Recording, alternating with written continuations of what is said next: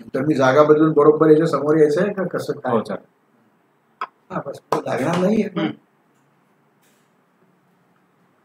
hello good evening everyone I welcome you all on behalf of Jyotirvidya Parisanstha so today with me here is professor P K Ganekar and today will be having lecture about Lonar meteoritic crater so last week you might have seen WhatsApp videos or photos etc. Uh, regarding uh, pink Lonar Lake, and so we just thought that uh, we'll have uh, two lecture series uh, regarding Lonar.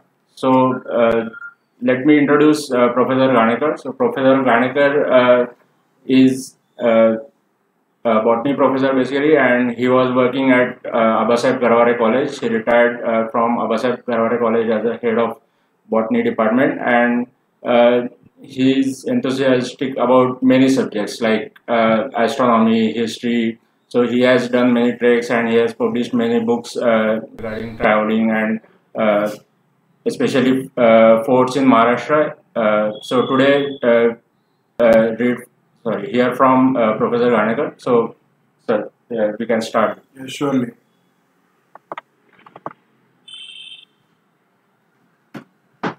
Good evening, everybody. Now, today I have come over here to discuss some points about the Lonar crater. Uh, an uninvited uh, visitor from outer space landed at this particular place in remote past say 5 lakh years before. A small village is there which is uh, known as lonar. So we call this particular meteoritic crater lake as lonar crater and lonar lake. Uh?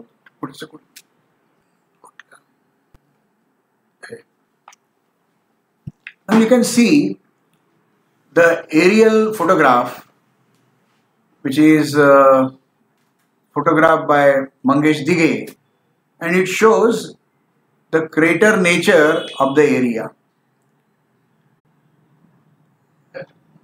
In the background, you can see the Lonar village, and on the left side of this big lake or big crater, there is a small crater called as Amban in this.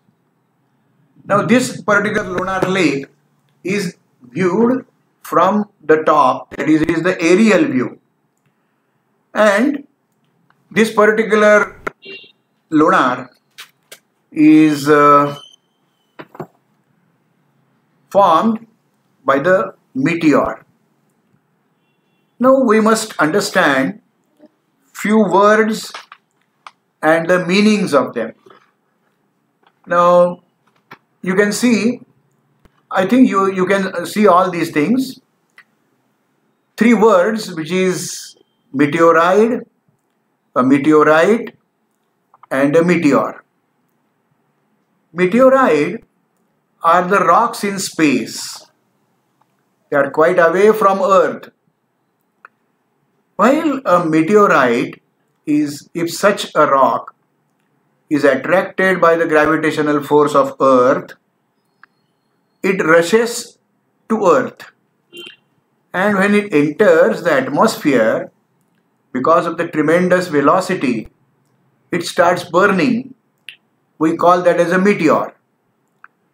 Well, if at all this meteor doesn't burn completely and it comes to the Earth's crust or surface of Earth, we call it as meteorite. So there should not be any misconception about any of this term. I will be using some of these words very often, so I explained all these words. The rock in space is meteorite, the fragment which reaches Earth is a meteorite, and the falling star is called as a meteor. Here you can see two craters. Such two types of craters exist on Earth or even on other planets. One is called as a volcanic crater, which is on the left side. And on the right side, you can see a meteoric or meteoritic crater. The volcanic crater is also circular. Meteoritic crater is circular. The difference is in its origin or in the formation. If a volcano erupts, slowly it cools down and it leaves a circular scar on the earth elevated on a conical top and that we call as a volcanic crater. The meteoritic crater is because of the hypervelocity impact of a meteor and it is formed on the surface of the earth. It is not on the top of a conical hill. We call that as a meteoritic crater. Here the volcanic crater depicted is from Mexico and the Barringer crater or Arizona crater as it is called, it is in uh, Arizona state, it is in USA. So these are two different types of craters which we can see on earth. Now here is again the view of the Lonar lake and Lonar crater. The lake inside is called as a Panchapsar Sarovar or simply called as Lonar lake. And the big round thing you can see that is the Lonar crater. The phenomena which have puzzled lot many people is this particular lake inside the crater contains lot many microbes or we also call them as cyanobacteria. And because of that the water in the lake is also always green. But few days back for the things unknown till now the color of the water has been changed. Instead of green it has become pinkish or slightly reddish. And everybody started talking about how and why this particular lake water is occurring. Many theories have been put forward, but still it is an enigma. Scientists are uh, try, taking their efforts to phenomena. Now this is some information about the Lonar crater. Uh, the first is the location. It is in Maharashtra. It is in Vidarbha area, the Buldana district. And the latitude and longitude are there.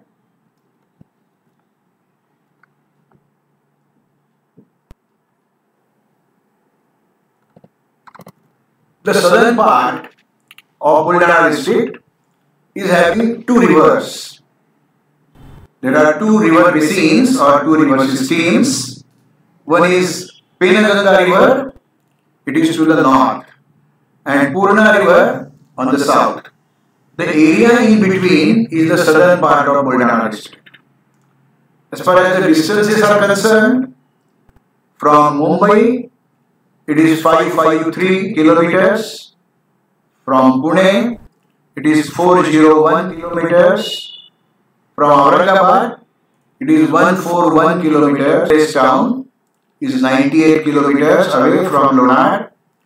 While the district headquarters Buldana, it is 80 kilometers. Mehkar is one of the big towns in the surrounding area. It is hardly 35 kilometers from Lonar. So these are this is the information about some distances from the famous places. Now, Lonar crater is a thing which is visited by many, and they should have some basic information about the meteorite which came over here long time back. The meteor impact was from the east at a high angle of 30 degrees and it is speculated by scientists the meteor might be say about 55 kilometers, 55 meters in size. The weight is speculated to be 20 lakh tons and the speed at which that meteor came was around about 25 kilometers per second.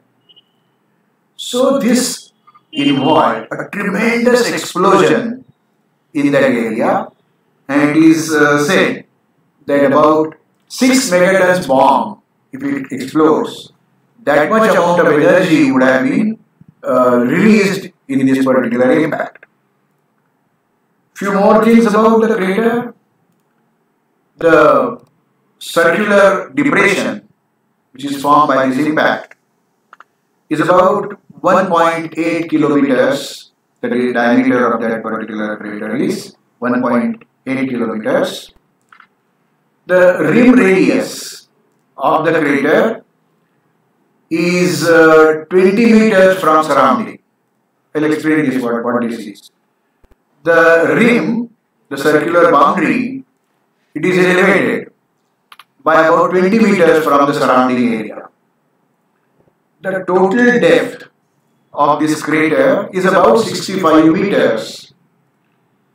While the lake which is inside the crater, it is 5 to 7 meters deep, that is the water column is only that much. When the meteor collided, much material was released out, it was ejected out, and it is spread over a radius of about 1 to 2 kilometers around the entire crater on all sides. Now, this particular Lonar crater is an attraction for many, many branches of science and some social sciences. The first is geology because the meteor is made up of some rocky material, so geologists are interested in it. The science which is on the boundary of geology and geography is geomorphology. Externally, how we see the cr- crust of the earth or the surface of the earth. That is geomorphology. Archaeology. Many archaeologists have worked over Lonar and some materials which dates back to few thousand years is observed over here. Some beads were there, some glass mat- uh, beads were there. Some excavations were done by archaeologists and they have got many, many proofs as regards the archaeology is concerned. Historically, this place Lonar is very important because the Yadav kings they used to visit Lonar quite many times. Temple architecture is an, a, a different branch which is not a science, but temple architecture is very worth considering over here. Inside the crater, say we can say crater floor, there are around eight temples built during Yadava's dynasty, that is 12th to 13th century. Henry Cousens, he took notice of all these temples for the first time. And there is still one more temple very beautifully carved, and it is temple of Daitya Sudan. So, temple from uh, the point of view of temple architecture, Lonar attracts many people. Iconography. It is Murti Shastra as we call it. On all these temples, they have different icons and their study, iconography. It is a heritage site. And naturally, people who consider heritage as their study, they have tremendous interest in Lonar crater. Few years back, this area was declared as a sanctuary. So naturally, the flora means the plants, the vegetation, fauna, that is the animals, And the third very important aspect of this sanctuary is a microbial life which exists in the lake water. So, if we consider sanctuary as such, then these three aspects they are very important. So, botanists come over here to study the floral elements. Different zoologists visit this area for the faunal aspect, and microbiologists come over here to consider the microbial life over here in the water lake. Chemistry. Water is not simple H2O. What the details of it we are going to consider afterwards. So chemistry people they are also interested in this. As it is a unique place, some tourists come over here. MTDC is having where their uh, bungalows over here.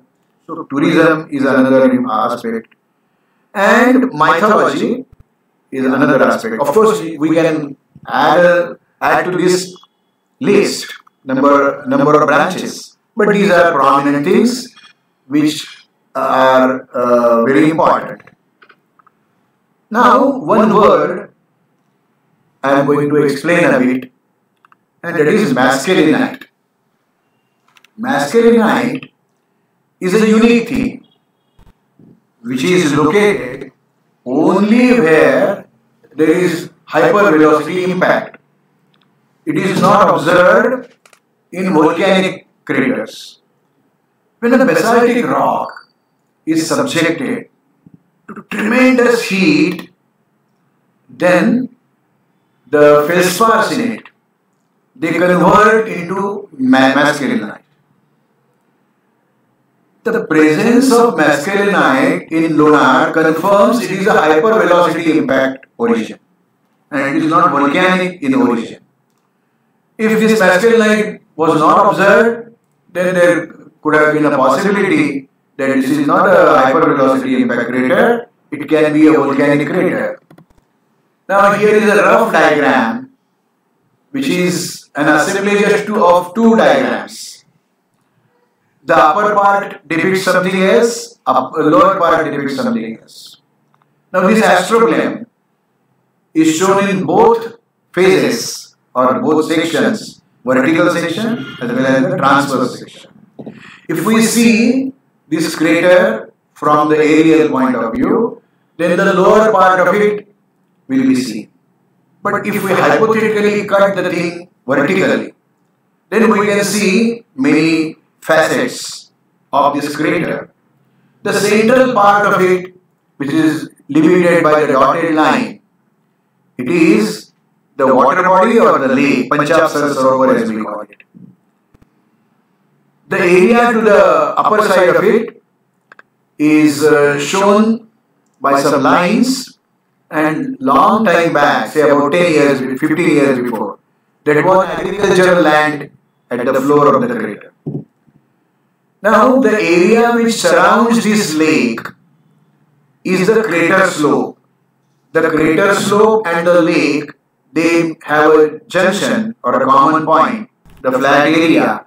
We can call that as a crater floor in which in the Skidmore depression that water lake is there. Then this, the rim, the external boundary of the crater is called the rim of the lake.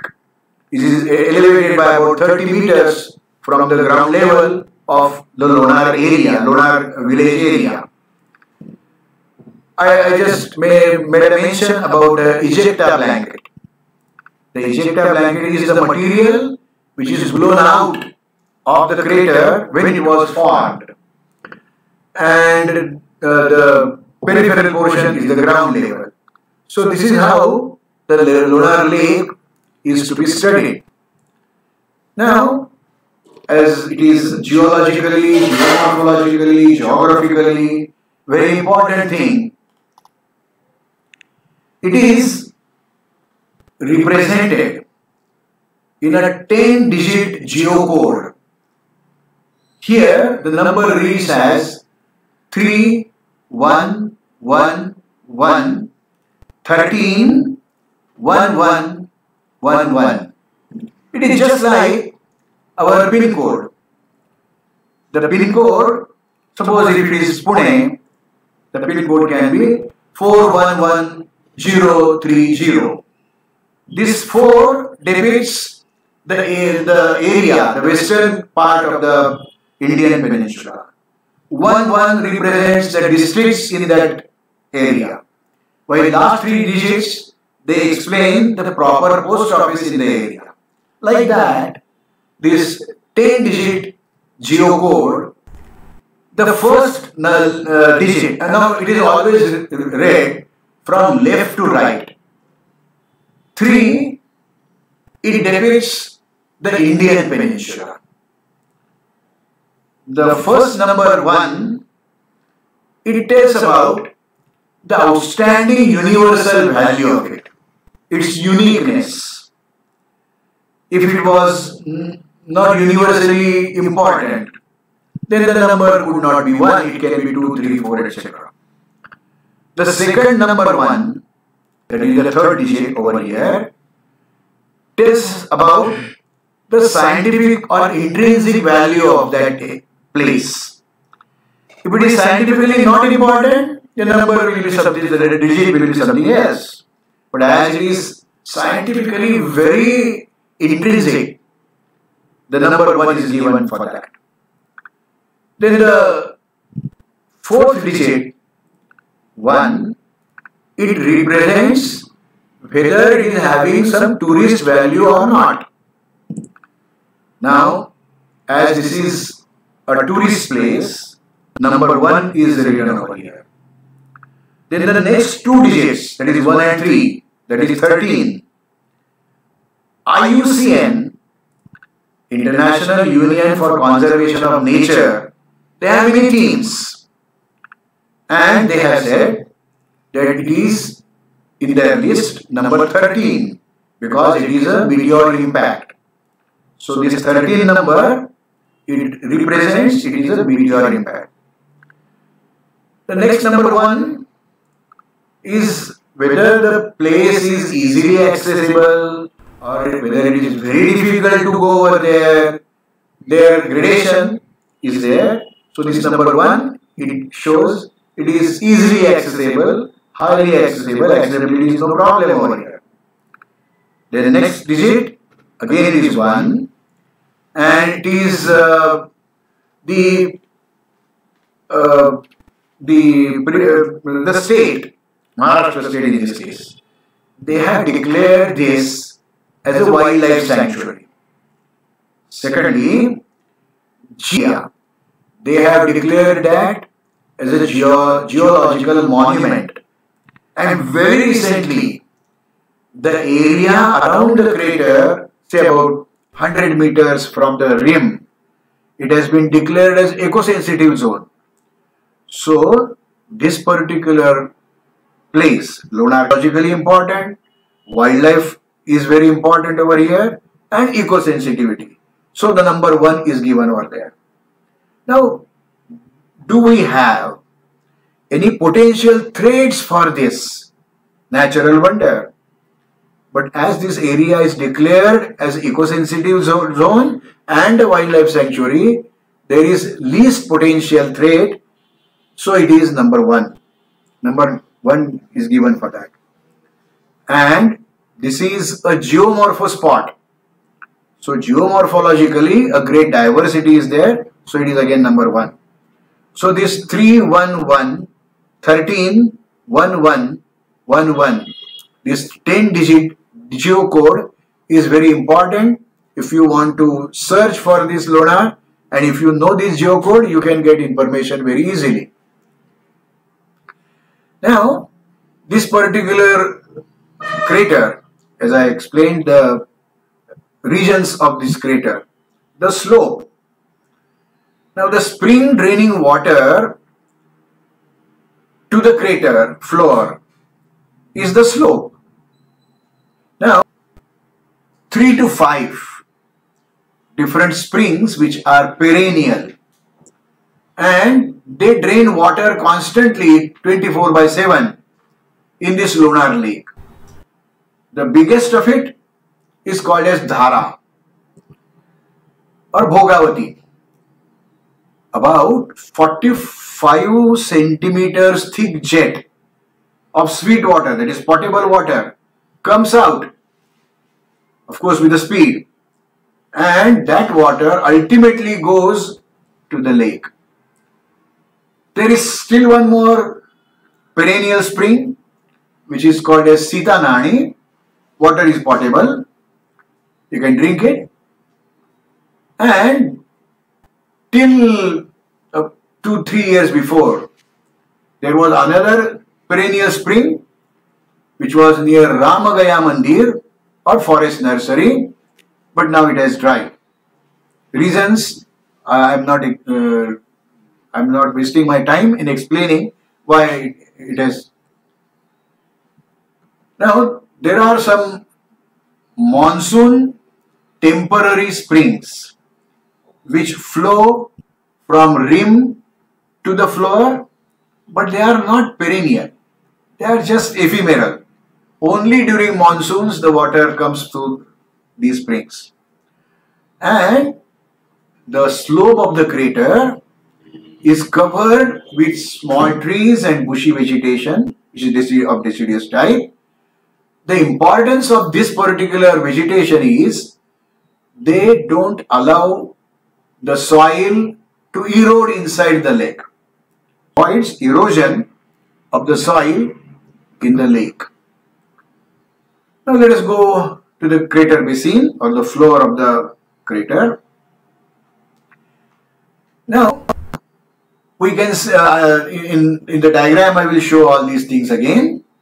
Now there is a path which is a bit elevated on the northeast of this uh, crater and this uh, crater floor is having a small strip on which you can walk. On one side you will have the crater lake. On the other side you will have the crater slope. The lake water it is super saline alkaline water body with a pH of about 10.5. I am going to explain this point afterwards, but it is very, very salty water and its pH is 10.5. What that pH means, I will explain it afterwards. And there is a old Pakka uh, well along the right of the floor of the southern edge near Kamalja Devi Mandir and that water is also potable. But uh, before say 20 years before, the water level in the crater increased and this uh, well it uh, submerged. So water is now now potable even if it is now exposed again. Now one interesting thing you can uh, test, if you take a small pit, if you dug a small pit, anywhere in the basin, a little away from the saline lake, and wait for about an half an hour or an hour, water accumulates in that pit, and that is sweet and potable water, because the pH of it is 7. The, the saline water in the lake is very alkaline. But if you dug a pit and wait for about an hour water collects in that uh, small pit so the shallow lake is having only 5 to 7 meters depth water percolates through that soil and it comes in that small pit chemically this water has been analyzed by many scientists. Now, you just have a look to this and the importance of this water analysis from the chemical point of view. You can see that in 1910, Christie, he analyzed this water for the first time and he got the results which are tabulated over here the thing is uh, analyzed from a water sample which was taken from a depth of about 2 feet more than a half meter uh, from that lake. Then in 1958, Jingran and Rao, they took a sample, say about 2 meters depth of, from that lake. And Tisco in 1960, they analyzed water samples, say about uh, 6 meters, say about 18 feet deep from the lake.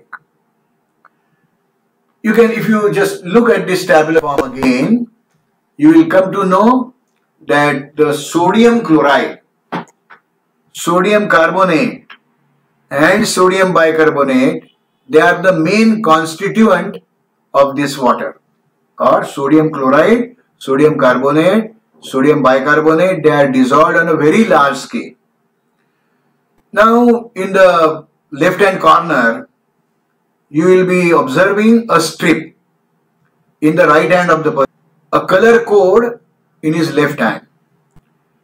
Now this is a small strip just like litmus. If you take litmus paper and dip it in uh, acidic medium, it turns pink. If you dip it in saline basic material, basic solution, it turns uh, color and it becomes uh, bluish. But this pH paper it shows exactly what is the pH of if you color if you compare the colors on the strip and of the paper pH paper it is round about 10 or 10.5 now this is a broad range pH paper. Some narrow range pH papers are also available. So you can decide whether it is 10.5 you can accurately measure pH. Nowadays the electronic sensors are there. You can measure it but this is a very simple method and uh, if the water is having 7 pH, it is potable. Beyond that, uh, 6 to 8, still that you, you are not supposed to drink it, it is not good for our health. So this is 10.5, very high pH, means uh, this sodium chloride, sodium uh, bicarbonate, sodium carbonate, they are tremendous in the water so it becomes a very super saline solution. Another important thing from chemical point of view is the silt. Because water is taking particles of soil, they are getting deposited in the lake and that silt is of four types in this Lonar. It is black colloidal silt, it can be brown plastic silt, it can be brown less plastic silt or it can be brown to grey weathered rock. Now this is very important if you want to study the sample of water and sample of the silt chemically. And this silt it uh, is having three major properties. There is a lot of moisture in the silt. It is having considerable percentage of silicon dioxide and presence of Fe2O3, Al2O3 and CaO. It is in varied percentages. Iron uh, oxide, it is 37 to 42 percent. Aluminium oxide, 9 to 12 percent. And calcium oxide, 8 to 11 percent. So this is the chemical background of this water. Now, if you want to study Lonar, not from the geologist point of view, not from astronomical point of view, but from the um, ecosystems point of view, environmental point of view, you can see different ecosystems or it is an assemblage of many types of ecosystems. The area which surrounds even the ejecta blanket, surrounding area, that will have a totally altogether different type of flora, different type of fauna, different type of the silt or water depositions. The ejecta blanket, though it is very deformed at Lonar, lot of encroachments are there, even the Lonar village is on this ejecta blanket. But that forms an ecosystem.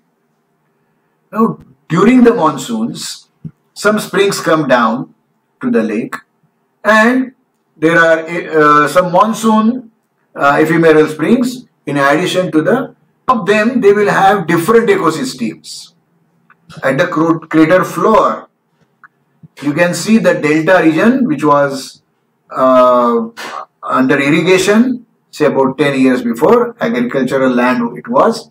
So the delta is having altogether different type of ecosystem.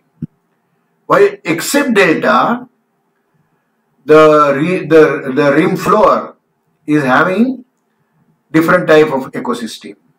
I'm not going into details of it but such ecosystems exist at lonar where there is a confluence of freshwater spring and saline water, that brackish water, will have still another type of ecosystem over there. Lonar lake silts, they have different ecosystems. The super saline alkaline lake, about which I am going to talk a bit more, that is a totally different type of ecosystem and the brim of lake is another ecosystem. So only at Lonar you can get 8 to 10 different ecosystems living in the same area. Everything is different. Their physical nature, their chemical nature, their floral, faunal elements, all these differ. So it is an assemblage of variety of ecosystems.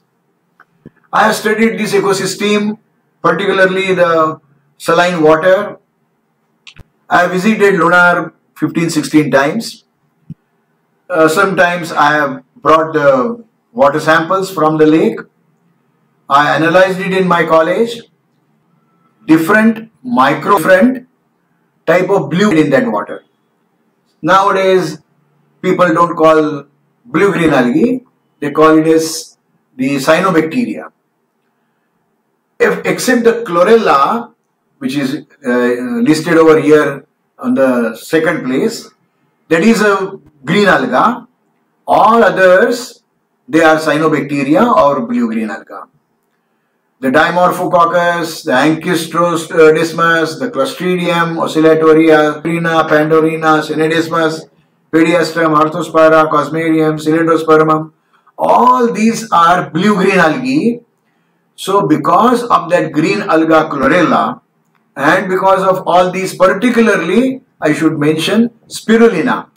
Spirulina is uh, just like a uh, coil of a spring and that is very important. Um, it is very rich in protein and the SCP single cell protein it is about 65 so if you take 100 grams of spirulina 65 grams will be proteins and it is human digestible. So it is very important. And many bird migratory have this spirulina. So this is the microbiology few years back. Now many scientists uh, have analyzed the water sample again and again, uh, have analyzed the water sample again and again. They got some different results. I'll, talk about it uh, after about a minute. Now this spirulina, which I emphasized a bit, looks like this under the microscope. If you uh, only under microscope, you can see the spring-like coil structure and that is spirulina. Now, other scientists, they have uh, noted some alkaliphilic bacteria because this is basic or alkaline uh, water. Some bacillus, Staphylococcus, Arthrobacter, Micrococcus, Pseudomonas are reported by many microbiologists. Some microbiologists have analyzed the samples and some methanotropous bacteria are recently discovered. That is, they eat methane from the surrounding. So it can be a boon in the future. NCCS from Pune there is resistance for radiations, which shows uh, resistance for radiations. And Agarkar Research Institute again from Pune, they have Halomonas campisalis and that is uh, a raw material for making productions. So it can be another boon in future. This is uh, Lonar crater. Uh, it is a very rough sketch and you can see very many things put all together. Now there are four watchtowers in four corners. If you climb up and stand on the watchtower, you can get a, a very beautiful view of the crater, the crater floor, the vegetation of the crater slopes, the rim of the crater, the ejecta blanket, all these things you can see from the watchtowers. Now here to the northern side, I have written there over there steps. Now these steps, they, if you just climb down, you can reach that delta region of the crater floor. It is Dhara Mandir. Here to the inlet or it, it is acts as an inlet for water in the lake. Now there are many temples over there and there is another uh, spring which is Sita Nani shown on the right hand side. Then another footpath just next notice over there the dotted line and on the right hand side is MTDC. So that is the nearest approach to the crater floor. Then there are some temples named differently. Shankar Ganesh temple, Ram Gaya temple, Wagh Mahadev temple, More Mahadev temple. All these temples are very important because they have altogether different ecosystem of the bats over there. So uh, the, the temples are not live, that is the, nobody goes there and worships. So these are the uh, temples from the 12th or 13th century and some of these temples show magnetic, that is another interesting topic. Then right hand watchtower, uh, lower uh, corner, there is again a footpath which is very recently created and that has disturbed the ecosystem over there. The importance of the uh, slope was lost because there were many birds. An eagle was nesting there for about 20 years. That tree has fallen down and now that eagle can you cannot see over there. The deep Deepmar and it is having many holes inside. You can, if you go over there, wait there for about 5, 5 to 10 minutes, you can see parakeets. The rose ring parakeets, they have inhabit in that particular deep mark. Now, I have seen a monitor lizard near this Kamalja temple. And there is a well. I mentioned it, a Pakka well. Now, that is the potable water available near Kamalja Devi Mandir. Then there are Ambarkhana Mahadev Mandir, Mungla Mahadev Mandir and Chopra Mahadev Mandir on the western side of this particular lake. So this is about crater and different parts, uh, different uh, places worth observing over there. Now you can see the Kamalja Mandir, you can see a flag just on the bank of that uh, water and that is Deepmar where these parakeets they live. Now more Mahadev Mandir, Wagda Mahadev Mandir, Ram Gaya Mandir. Ram Gaya Mandir is a, a Ram Mandir and rest of them they are the Mahadev temples. So from uh, temple architecture and iconography these temples are very important. Dhara Mandir you can see over here. Now there is Daitya Sudan Mandir which is in Lonar village. Now the left hand on the left hand side you can see the temple which is very beautifully to 12th or 13th century and uh, it is one of the well preserved temples in Maharashtra. Platform and on that platform the, the main temple is erected. There are three mukhamandaps or porches and the deity which is worshipped inside you can see in the center and the beautiful carvings on the temple you can see uh, in the rest of the uh, pictures. Now I'll come to the zoological part of it. The Zoological Survey of India, they have published a good account of the fauna of this particular crater. Fauna of Lonar crater. Now this Lonar crater is having so many types of animals over there. Now the table it the uh, it gives the groups of the animals which are recorded over here. Instead of having uh, the discussion about entire table, I abridged it a bit and the mammalia, the, the animals which have mammary glands. 12 such animals are found. The Hanuman langur, the black buck, rats, squirrels, civets, all these types of mammals, 12 different types, they are re reported by different scientists, different types. But uh, that is one of the very important aspect of Lonar. Mammals, after that, the aves, that is the birds. 160 types of birds have been recorded by ornithologists over there. They include the peacocks, the national bird of India, the flamingos, the brahminikites, and so many different birds are there. 160 different types of birds, some migratory, some local. Reptilia, the reptiles, the snakes, the monitor lizard, the geckos, reptiles have been reported from this place. The amphibia or the amphibians, uh, we know the frogs and all these, are amphibians. Seven different types of amphibians have been recorded over here. Mollusks, it is an aquatic animal and it can be either freshwater or saltwater. It is having a kind of a protective shell we call it mollusk. Then rotifers, ostracoda, chilopoda, these are, we are not well versed with these types of animals. I'll just neglect them. But arachnids, 23 types of arachnids are seen. The scorpions and spiders, they are the major components of arachnida. Then Hymenoptera, etc., the insects, 17 different types of ants are there.